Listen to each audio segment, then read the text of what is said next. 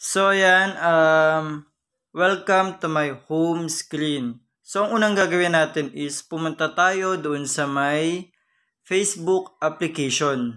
Itap lang natin yan. So after nun, uh, kung nakikita nyo yung tatlong guhit dito, itap nyo lang yon sa baba ng messenger. At hanapin nyo yung settings and privacy. Itap nyo lang yon at tap nyo lang tong settings. After nun, hanapin nyo yung notification settings. So ito siya nasa baba lang, itap nyo lang yung notification settings. Then, itap nyo yung tags.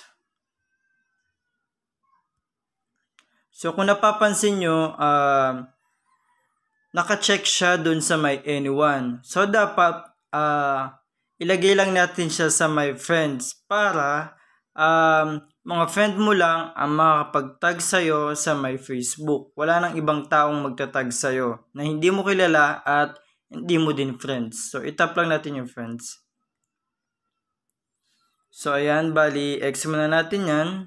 At i-check natin kung sa friends na lang siya. So, una, ayan pumunta ulit tayo dun sa may notification settings para makita natin kung nakaset na siya sa may friends.